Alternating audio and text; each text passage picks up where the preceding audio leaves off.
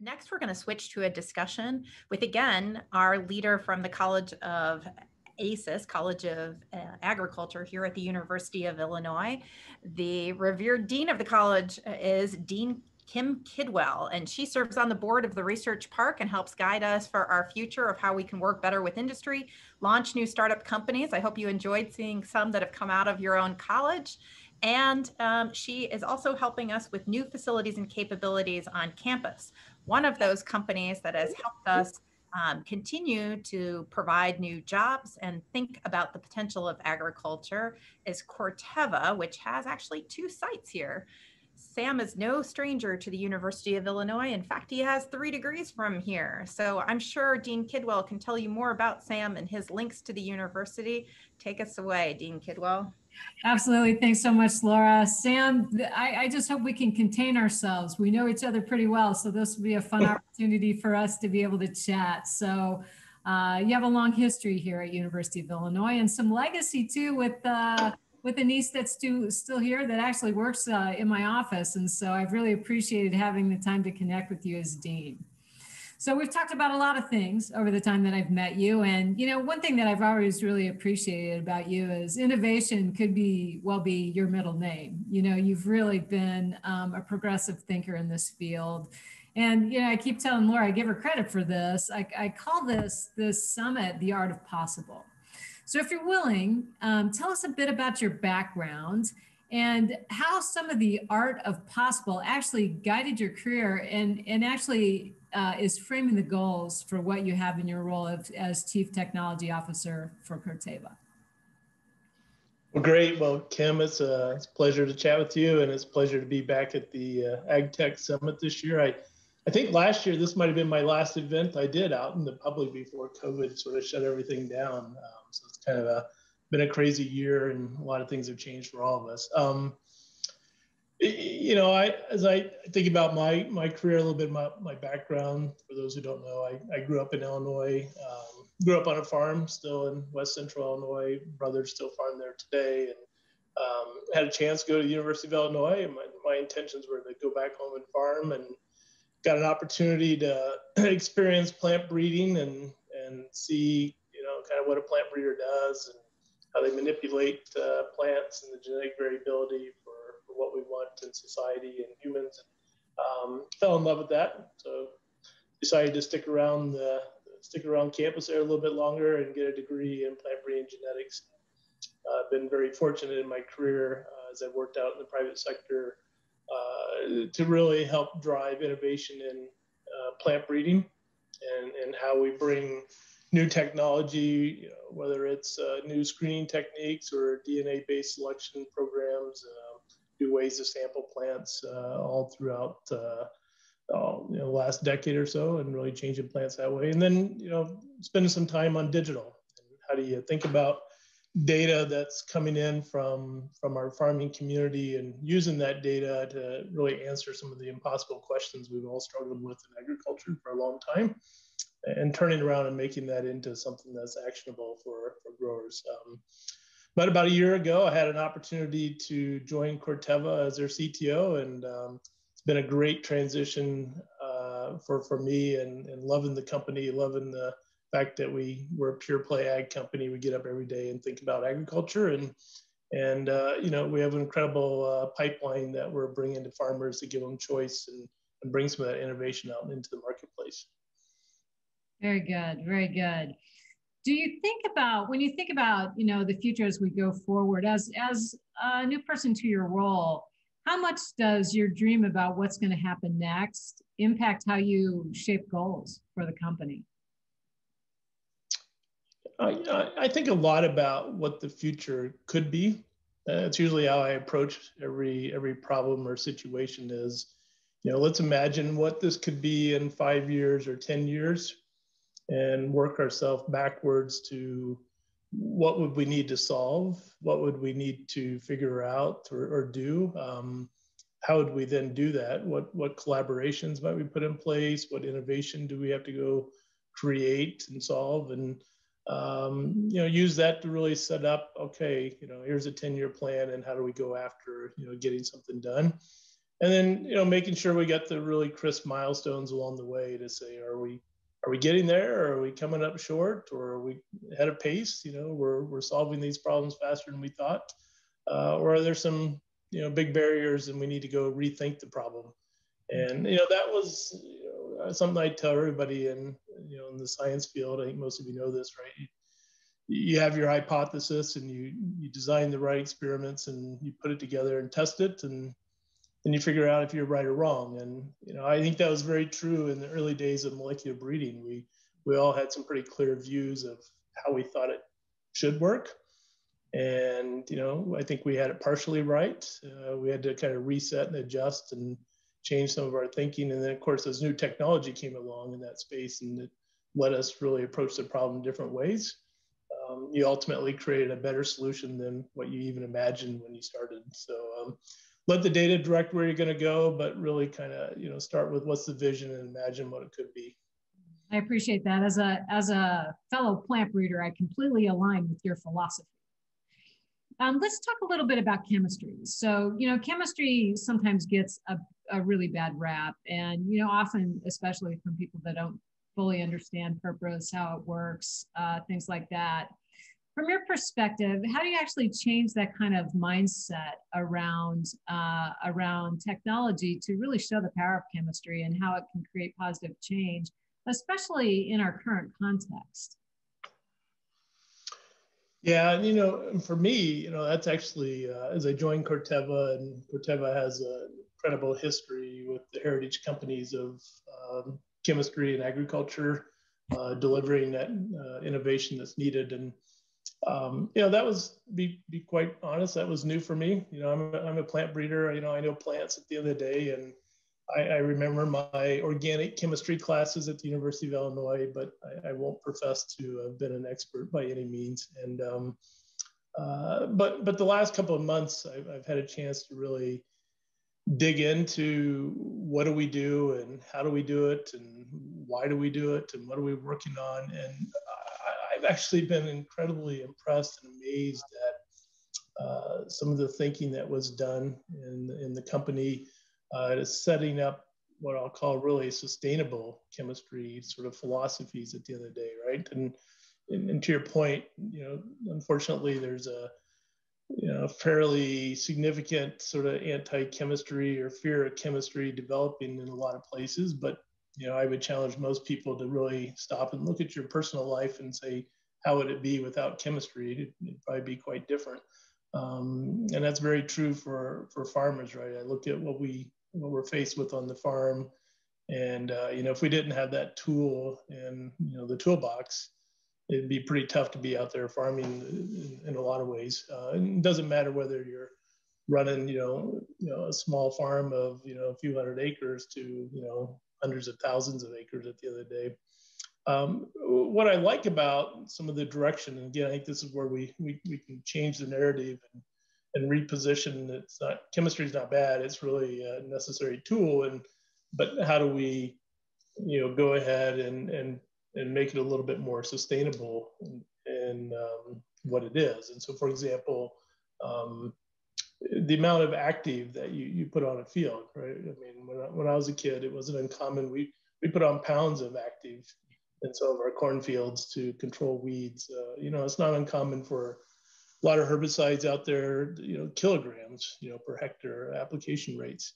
You know, we, we have uh, products now that are just launching and some more in the pipeline. We're, we're down to like grams per hectare uh, of how much active is being put out there uh, you look at um, formulations that are based on uh, building blocks that are far more sustainable and safer than what we've used in the past. Um, how we manufacture, I mean, green chemistry technology and, and, the fact that you can produce stuff in a in a better way, uh, you can really see that. And and we have a lot of natural products. We have a lot of naturally inspired products uh, in in our portfolio. So I, I do think you can look forward and say, you know, chemistry actually can be the sustainable component of agriculture. It actually might be one of the shining stars of sustainable agriculture at the end of the day. So um, I think it's important we all kind of get informed, kind of get to that common ground of what we're trying to accomplish.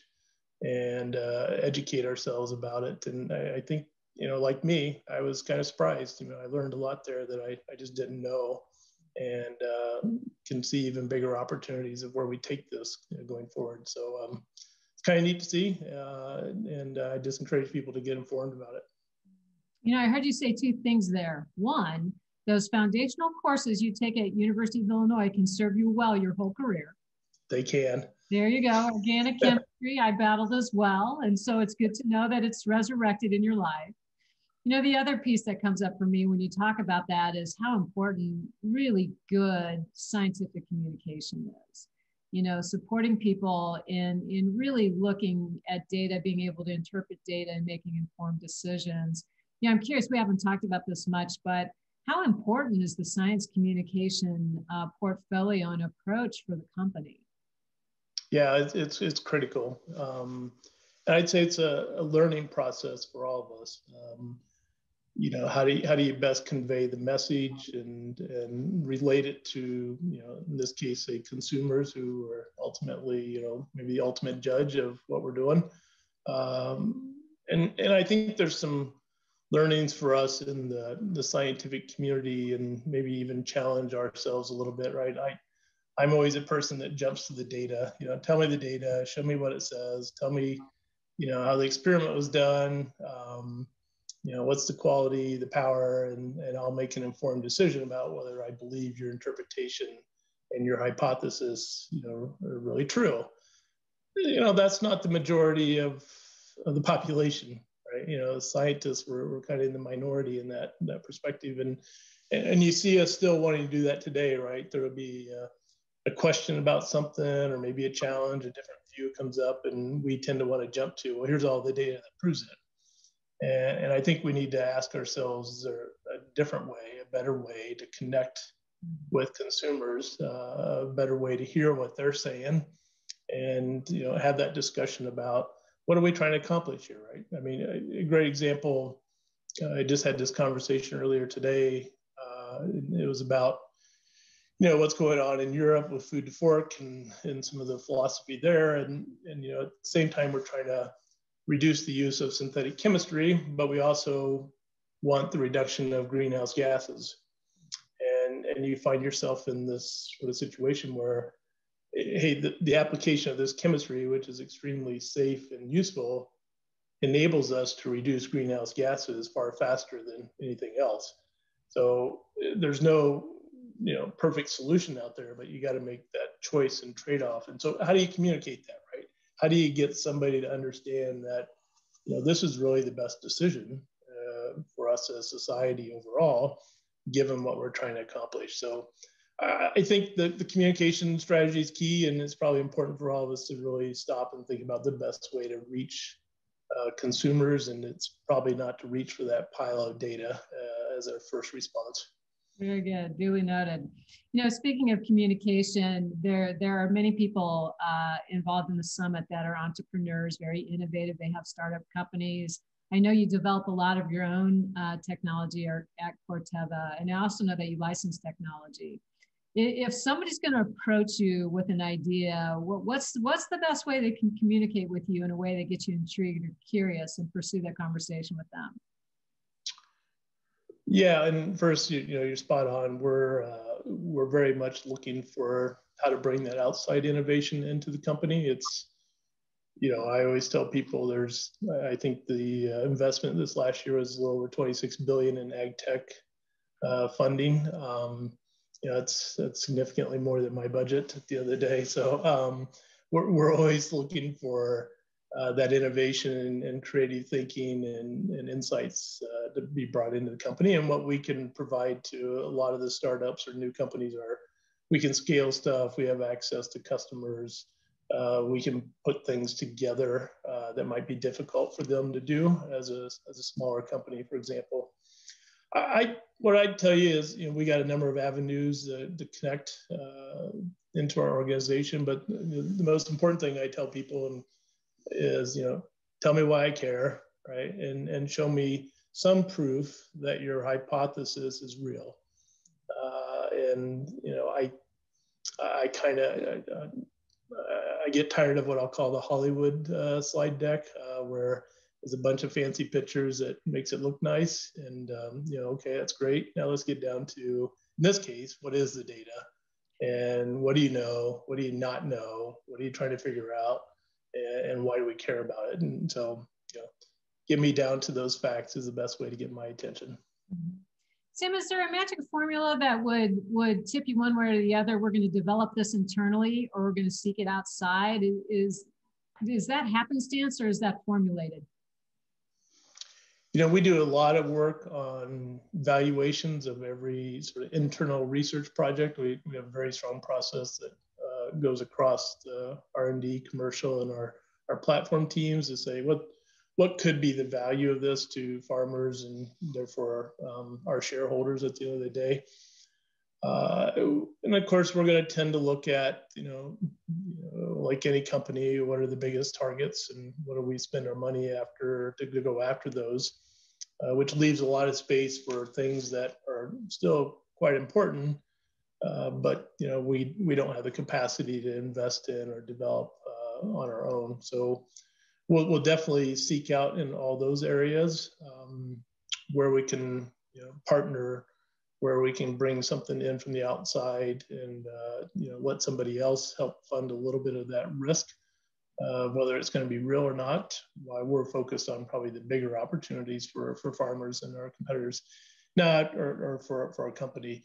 Uh, now, after saying that, I, I will tell you, even big ticket items you know, it's, it's rare that there's a, a single entity that creates a complete solution, right? A lot of times you're putting together multiple pieces from, from different com- companies or components. And so even there, we might say, well, look, we need X to really make this whole solution work. And so hey, we don't have it. How do we go out and license it uh, or work with somebody in collaboration to, to get it? And then we can put that together with the other pieces that we already have. So um, I'd tell you it's across the board, but um, you know we're going to look to what complements to our targets and our strategy, and then we're going to look to where um, sort of those things that are just below the line we can't afford that we can go out and collaborate and and bring those into the company. Got it. Got it. You know, you said a word. Um, I, you might have tried to grab it back. Competition, right? you might try to grab that back. You know, honestly, sometimes I think about that with other uh, universities as far as students go and things like that. And I, I try to adjust my mindset a bit. You know, it feels that way because we're all driving towards an end goal. But when you think about it, and I think uh, Angela Green uh, brought this up in the last session, I said this earlier this morning. Like sometimes I, I wish we could just reveal all that we knew so we could take on the grand challenges and solve them, you know. And, you know, we're, we're in a situation where there's a lot of fear and, and concern about doing that when you look at some of the big problems in ag, what would it take? Is there an incentive that would bring big companies together to share knowledge in a way that would explode the potential to solve the problems? I mean, I, I, would love to figure out how to do that in my own arena, but I think about it a lot. Like, what what what is what is the incentive that would get us to go there? You know, yeah, it's a, it's a great point, and um, to your your your to core of your question, you know, sometimes competition gets in the way of, of that. Um, you know, one of the things that, that uh, we've started at Corteva is what we call radical openness, mm. where we're, we're taking certain major areas. We, we actually started with our plant breeding program. We've done this on gene editing. We're, we're actually just now internally reviewing the next set of projects you know, that would go there where we're, we're trying to change that paradigm a little bit and open up and say, hey, here's what we're doing, right? Here's how we see it. Here's how we think about it. Um, how do we continue to partner in the industry and, and with a lot of the startups? Because we know we can't, you know, solve these things by ourselves. And um, I, I look at some of the big sustainability and climate change challenges ahead of us. And again, I just those are not things that individual companies are going to go go solve and we really do need a, a, true coalition and collaboration across the entire industry right if you think about how are we effectively going to sequester carbon in agriculture fields i mean there's there's a lot of things to solve there uh, a lot of things to work out and and uh, so you'd love to have one where okay you know uh, how do we all work together to make that one successful for our farmers and successful for the environment. Um, but it, it, can be can be tough. Uh, I fully appreciate that, but we're we're trying to be more open and uh, more transparent in what we're doing.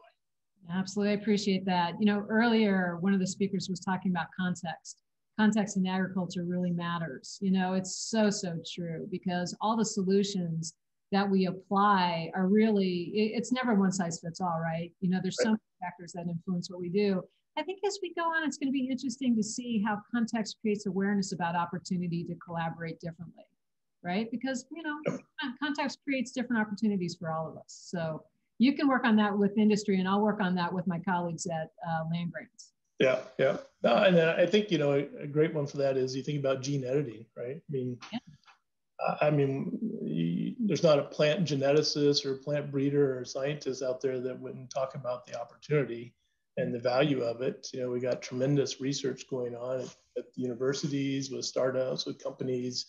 Uh, yeah, we've got barriers about uh, you know acceptance and regulatory. So, you know, it's a great example of how do you bring together the whole industry, large companies, to small companies, to university scientists, uh, startups, to say, hey, hey, we need to educate and we need to move acceptance so that you know, this is some technology that gets to really blossom versus, you know, kind of die on the vine, uh, like some other technology. So, you know, how do we work together in that, right? Is really what we should be asking ourselves.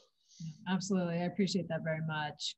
So Laura mentioned that you have a couple sites in the research park and can you talk to us a little bit about the value of that and you know how it helps you recruit and connect to the science and maybe some things you've learned about best management practices for managing, you know, companies' uh, sites in the research park.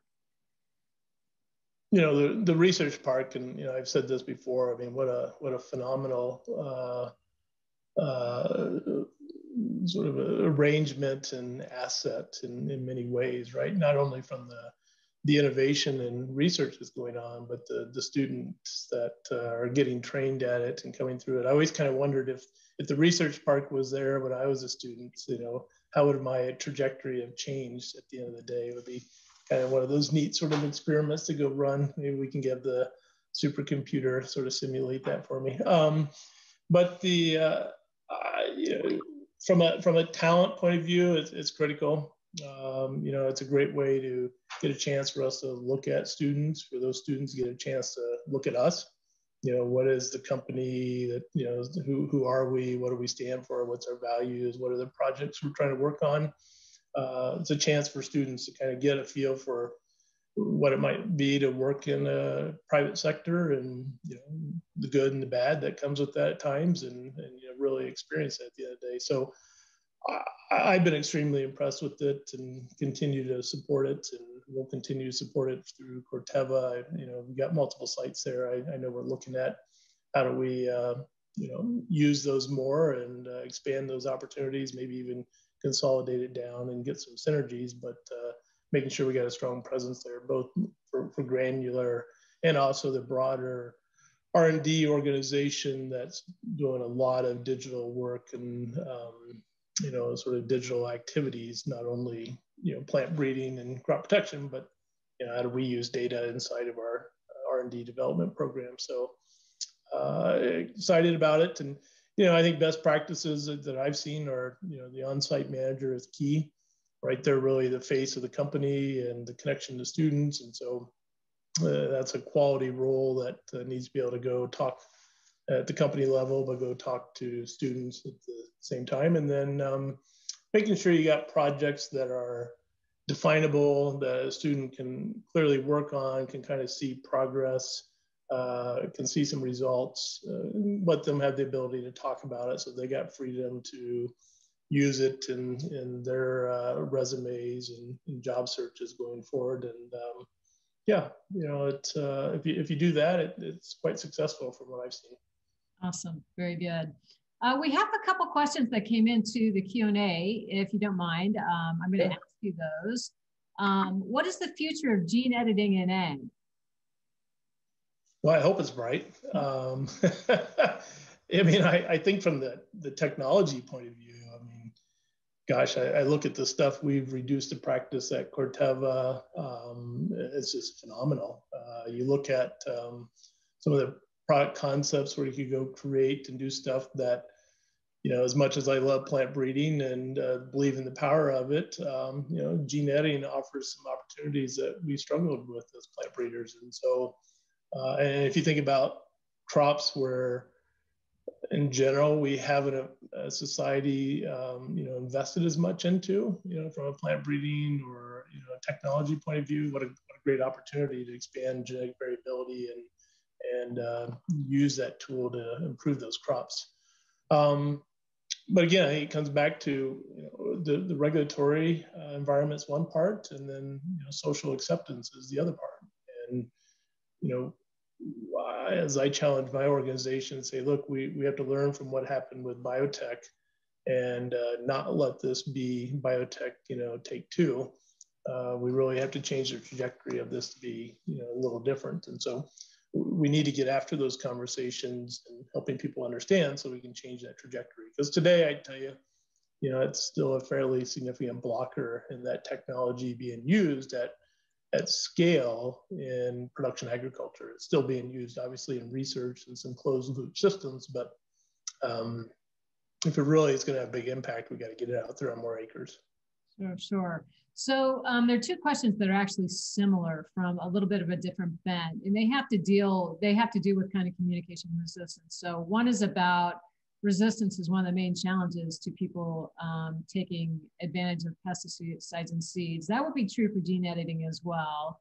How do you overcome that from an international bent? Uh, the example here is Brazil.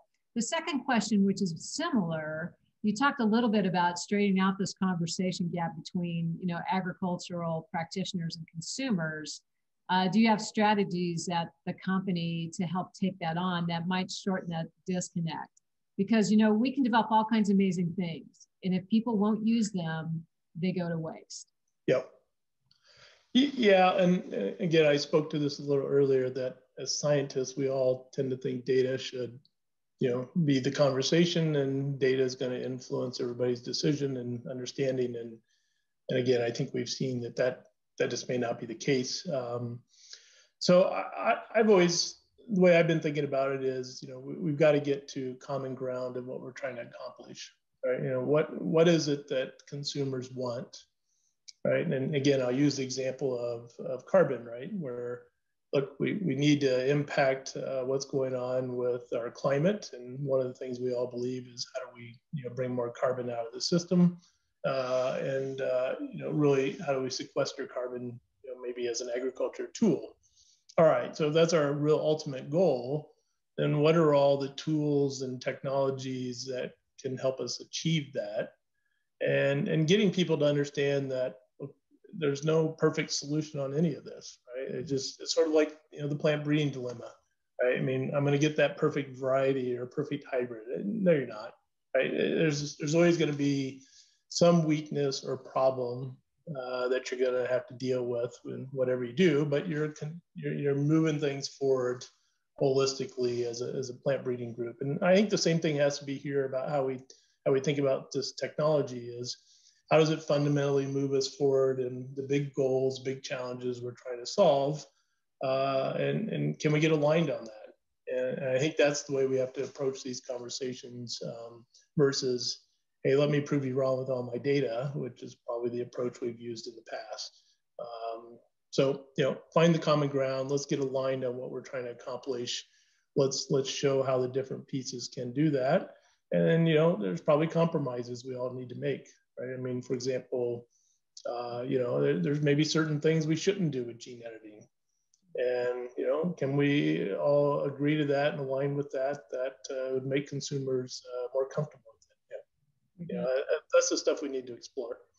You know, there's a conversation on campus that's live in the moment about um, science communication. Mm-hmm. And, you know, really our responsibility to do a better job of training people in this arena you and I kind of grew up in the same era, and I can't say this was a big part of my educational portfolio. Do you think we yeah. need to do better there? You know, being smart yeah. may not be enough. We need to actually support people with the skills to communicate what they know in an effective way, no matter who the audience is.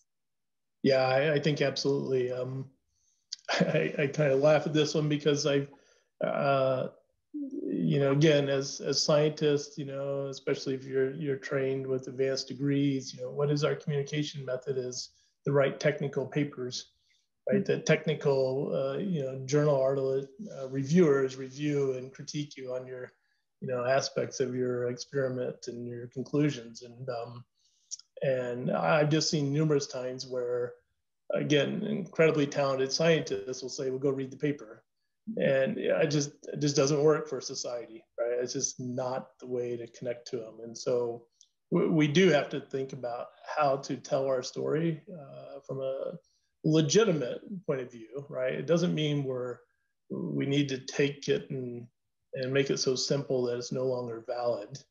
Uh, but but we have to put it in a way that relates to what people care about. Again, common ground that we're all working on. Uh, a way they can kind of understand it in a quick soundbite, unfortunately, um, and and not you know, try to grind on a lot of data and technical issues at the end of the day. So yeah, I, I think there is a real need there for uh, how do we all do it better, and it, it's something that I, I constantly am learning about how to how to best communicate and and explain stuff to people. I agree. I think some of the biggest challenges I have are in that arena. When I do it well, it's great. When I don't do it well, it's not good. You yep. So absolutely. Um, I'm going to close with this last question. So you mentioned the 26 billion dollars that have been uh, invested in, um, you know, biotech, ag, ag, food tech companies in 2020. It's an incredible amount of money. Uh, what would you tell people about investing resources in biotech for today and the future? Uh, you know, clearly uh, people still believe in it. If you look at that number, so um, that's great to see. Uh, I mean, a lot of uh, excitement in the ag tech sector, ag food sector. A lot of belief that we can continue to innovate and improve uh, what we have. Um, uh, I, I, would just, you know, if I was an investor and telling people again, you know, look at what you think is real. Make sure you kind of understand the problem make sure you understand, you know, what some of the solutions are being proposed. You probably got to accept that timelines might be a little longer than you'd like. Um, there's more barriers and hurdles that you probably got to go through in a in an ag sector that maybe you don't have to do in other sectors. Um, and, you've got to think about how this um, uh, consumer acceptance is really going to play into to the technology point of view. And you know, I mean, whether it's even a, an AI model that's helping do something, right? I mean, we're, we're clearly going to get pushback on how we use AI and how we're using data and data privacy and who owns the data. And, you know, we're just at the beginning of those sort of issues. So um, it is, I think it's across the board in technology. So, so I, I'd tell investors, make sure you look at the whole picture there. Very good. Well, gosh, thank you so much for your time. You know, we're so proud of you as, as an alum of the college, and our relationship with you is fabulous. We're excited about what happens next uh, in your role with Corteva. But thanks so much for your time. Uh, you inspired me. That's a good thing, let alone all these people that are listening. So thanks so Very much. Good. Back all right. Thank you, Kim. Thank you, everybody. Appreciate it. Have a great day. Thank you, Sam. Thanks, Dean Kidwell. Um, appreciate having you back, Sam. Another Ag Tech Summit.